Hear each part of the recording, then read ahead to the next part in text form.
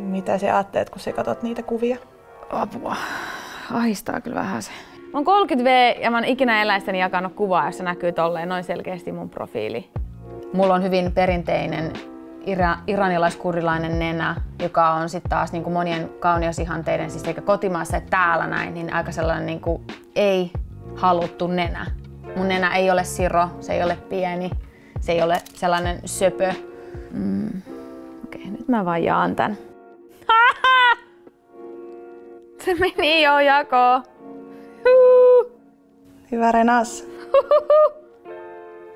Shit. Oh my days.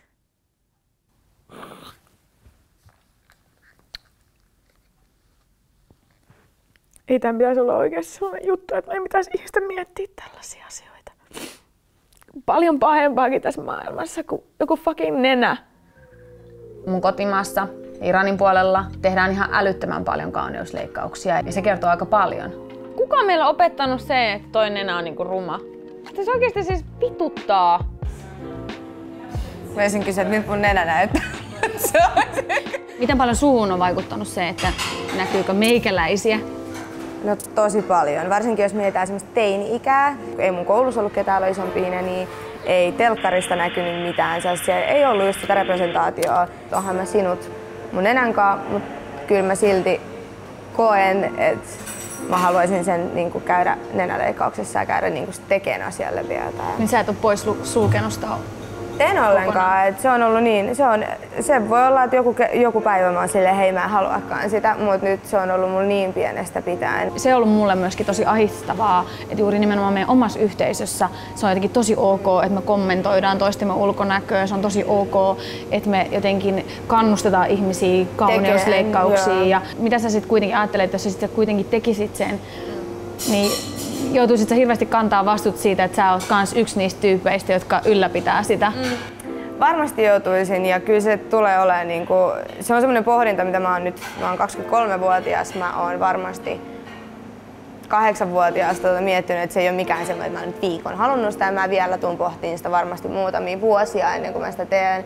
Että mä tiedän, että se on varmasti ja oikeasti sen takia, että mä haluan sen edelleen tehdä, eikä siitä, että, että nyt mulla olisi hyväksytympi olo en mä haluaisi kuitenkaan olla se ihminen, joka antaa semmoisen kuvan tai mainosta. Jos joku, joku tulisi mulle, joku nuorempi tyttö kysyy, että tai sanoo mulle jotain mun nenästä, niin mun kommentti ei olisi, että hei mä suosittelen sulle sitä. Mun kommentti olisi, että sä oot täydellinen just sellaisena kuin sä oot. Musta olisi ihana, että olisi just lähi mimmit enemmän äänessä, kertois näistä asioista, että nämä ei olisi niin tabuut. True story. Valkoinen. Valkoinen. Hurray! Yksi pokki. Tässä kyllä hirveästi tätä monimuotoisuutta kyllä näe. Suomalaiset naistenlehdet julkaisivat viime vuonna 268 kansikuvaa, josta seitsemästä oli Person of Color. Kirjoitti Ronja Salmi Helsingin Sanomille kirjoittamassa artikkelissa. Me tarvitaan myöskin esikuvia, me tarvitaan niitä idoleita, me tarvitaan niitä ihmisiä, jotka näyttää meille, että meidänkin näköisillä, meidän taustan omaavilla ihmisillä on ihan samanlaiset mahdollisuudet tässä yhteiskunnassa. Medioilla on suuri valta, mutta ne ei niin kuin tällä hetkellä kyllä käytä sitä, että on tosi surullista, että tosi usein se nimenomaan nojaa siihen, että ei mukaan olisi resursseja. Koska kyllähän ne resurssit niihin muihin juttuihin kanssa löytyy, niin miksi se löydy sitten välillä siihen niin kuin muunlaisen tarinan kerrontaa. Me ollaan tosi tietoisia siitä, että miten meitä kritisoidaan. Ja mun mielestä on tosi hyvä saada tällaista palautetta. Ja jos me ajatellaan ihan numeraalisesti, niin trendi ilmestyy yhdeksän kertaa vuodessa. Ja viimeksi meillä on ollut kan- kannessa tällainen henkilö, jonka voisi luokitella person of coloriksi vuosi sitten. Niin me voidaan ajatella, että se on, siitä on jo vuosi tai siitä on kahdeksan lehteen. Tässä on meidän tuorein kansi. Tässä on aivan upea ninja, ja niin kuin mä aikaisemmin mainitsin, niin meillä on kumminkin niin kuin monenlaista naiskuvaa ja mun mielestä Ninja on yksi niistä, joka edustaa yhtä erilaista naiskuvaa. Ja sitten jos ajattelee, että täällä on Sonia, jonka juttu on erittäin upea, erittäin voimaannuttava ja koskettava. Ja tästä on itse asiassa tullut lukijoilta paljon hyvää palautetta siitä, minkälaista viestiä Sonia haluaa viedä eteenpäin. Joka kerta kun me mietitään, että kuka nainen me haluttaisiin trendin kanteen, niin me huomataan tämä tilanne, että niitä tunnettuja person of coloreita on Suomessa aika vähän. jokaisella trendin jutulla, myös kannella, on tietty kriteeristö, että mikä se pitää täyttää, jotta se on juuri trendin juttu.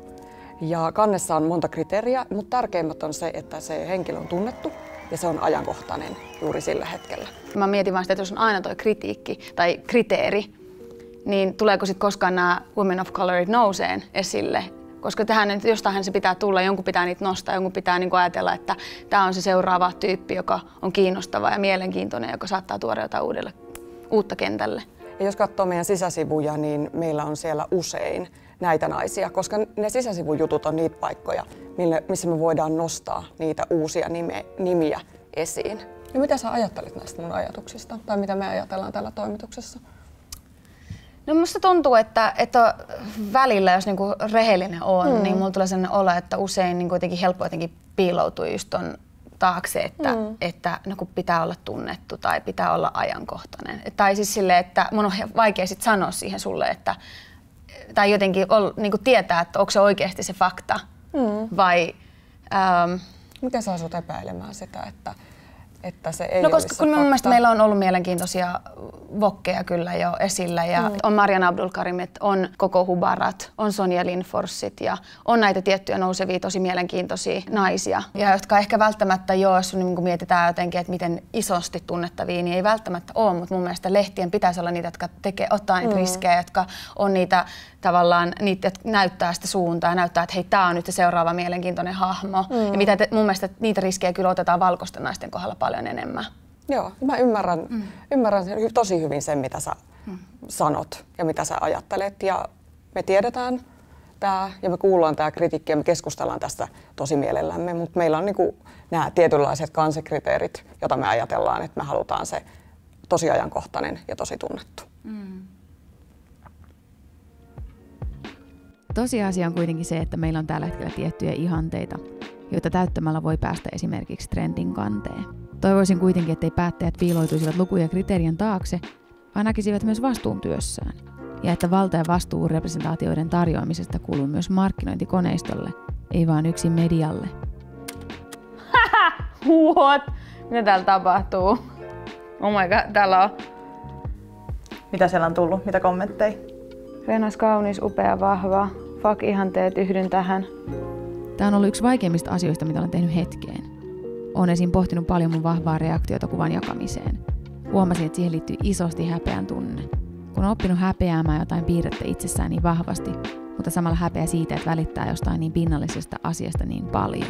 Olen myös miettinyt paljon sitä, että ymmärretäänkö mua nyt väärin, kun nostan tämän esille. Sillä kaikenlaisella representaatiolla on väliä.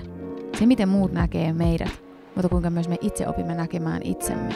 Uskon vahvasti, että kauneusihanteet ja se, mitä näemme kauniina, on opittua. Ja että siitä voi myös silloin opetella pois. Tästä se prosessi lähtee. I hope so. Kohti parempaa itsetuntoa.